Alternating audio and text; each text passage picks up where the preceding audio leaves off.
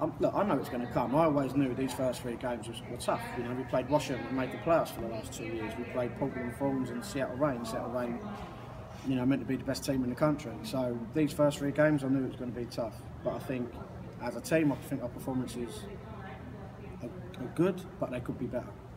And, and that's the thing that I was saying at the start of the year. It's going to take us a little bit of time. I just I just feel as as time goes, we're going to get better on some of these and look at that corner at the end as an example where, you know, we should have got a corner off the back of it, but you know, if we have a little bit luck, that goes in the back of the net. But for us, it doesn't, and we're just not having that luck in front of the goal at the moment. Any comment on the ref calling full time and then uncalling full time? I, I mean, I don't know, man. I didn't even think the free kick was a free kick. I don't think Julie's done anything wrong. Um, Julie stood there and she's gone into her. what are you meant to do? Um, and that should have been a penalty actually because that was in the box. I, I don't know. i have got no comment on that. I don't know what was going on at the end there. I don't think anyone did. But um, just one of them things, isn't it? Just talk about Abby's cool, especially that onslaught in the 63rd and 64th minute. Just looked like she was pretty composed back there. Yeah, no, she's a she's a good kid. She's had a good education at Texas, of course. Obviously, the national team, you know, rate her highly. So, you know, when uh, Sky Blue never picked her in the draft. Obviously, we've done uh, the trade with Chicago to get us higher up to, to get the pick to go and get her. Um, I'm surprised that Sky Blue never done that because I know they needed a goalkeeper in, in, in the draft. So we was we was really pleased that um, that we got her.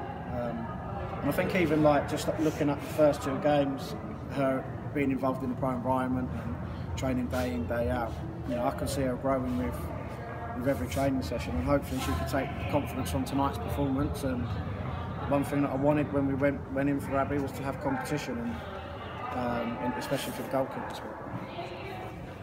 Just looks like the crossbar's been your biggest nemesis. So. Yeah, that's what I mean. We just need that bit of luck, you know. The what Julie King's last week when it could, it could have looped in, that one on the corner at the end there. You know, again, we've created some good chances today. You know, we've the pleasing thing is that we've we've worked the goalkeeper on what I would say were, were our better chances, whereas the weeks before we've got in great goal scoring positions and we've either put it wide or we've put it over.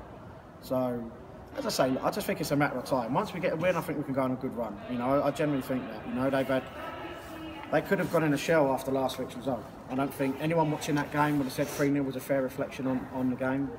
But they had players on the day that took their chances and we didn't.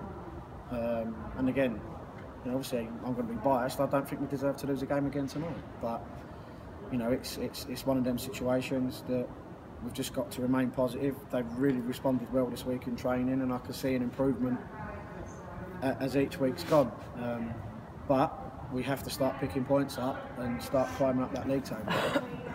How important is McCall right now in midfield? She seems to really take charge and yeah, we, we brought in to do a certain job, and she's doing that for us. Um, you know, obviously she was up for tonight because it's our old club. Um, so from that perspective, um, you know, I've been pleased with, with her performances.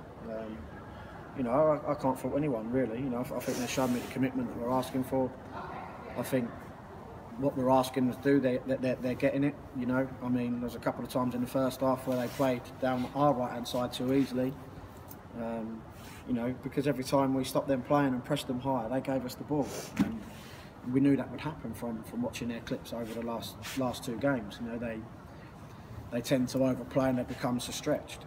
Um, but unfortunately tonight we just didn't take advantage, especially second half when it became a little bit open. Like we was just giving the ball away needlessly when we could have built it and then exploited them gaps. And that, that for me, I said to him after the game, that was frustrating because we was in complete control up until that point and all of a sudden the game becomes open, and, and that's where they start to get a bit of momentum going into it. Um, but we responded well to the goal again, which was pleasing. You know, we, we, showed a lot of character and we put them back under pressure.